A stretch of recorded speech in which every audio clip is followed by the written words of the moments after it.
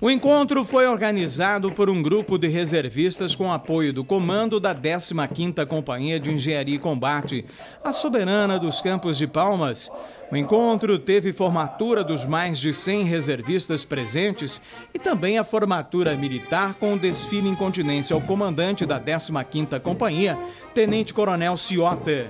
É uma satisfação receber os nossos antigos amigos aí, aqueles que eu tive o prazer de, de ombrear as lides da caserna e aqueles outros tantos com quem eu não tive o prazer e hoje eu, eu faço esse estreitamento de, de laços. É muito importante isso para as Forças Armadas, para a 15ª Companhia de Engenharia de Combate Mecanizada, sediada em Palmas, para que possamos trazer de volta para casa aqueles que nos deixaram há algum tempo, para que eles possam reencontrar velhos amigos, para que possam rever as nossas instalações e ver que tudo se mantém da mesma maneira quando eles saíram pelos portões das armas foi um encontro de gerações, entre eles um dos reservistas mais antigos, que serviu em 1959, quando a unidade do Exército ainda era cavalaria.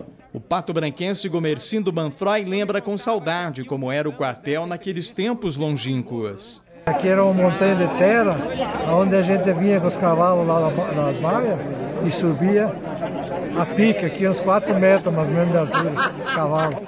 Bom encontrar amigos e rever esse lugar. Oh, muito bom.